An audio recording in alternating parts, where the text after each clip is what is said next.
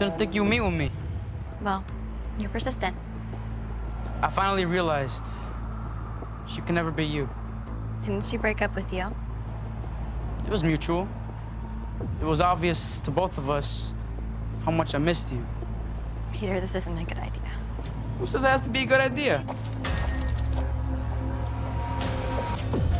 Wow, you couldn't even wait 24 hours and you had to do this here?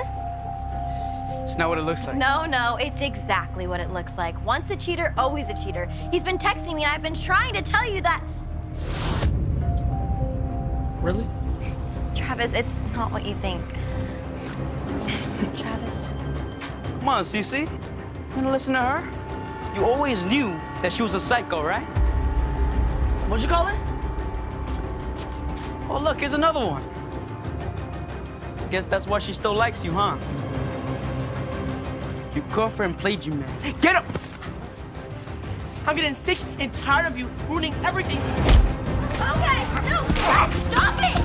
Stop! Get off my oh cousin! God, hey, you guys, stop! Hey! You're very impressive, Maeve. Thank you so much for showing me around. I wish I could stay for your event. Yeah, me too. It's going to be wonderful. Guys! Guys, stop it! This literally Aren't a those your volunteers? Whoa, whoa, whoa, guys! Hey, hey,